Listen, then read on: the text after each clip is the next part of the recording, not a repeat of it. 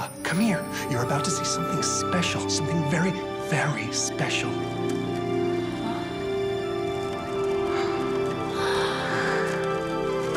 He's so cute. What's his name?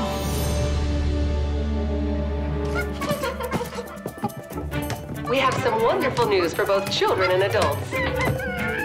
The only white gorilla in the world is arriving at the Barcelona Zoo.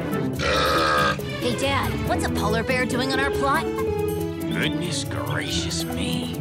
He's not a polar bear. He's a gorilla just like us. Want a banana? He'll never be one of us.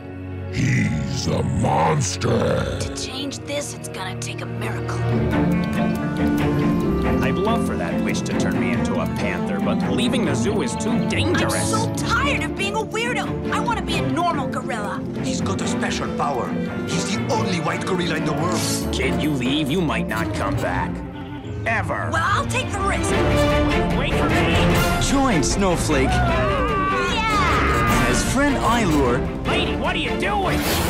in the greatest adventure Let's go!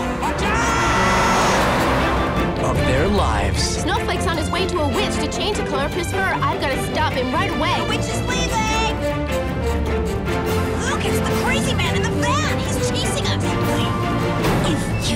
Know if it'll work. It has to work. This is my last chance.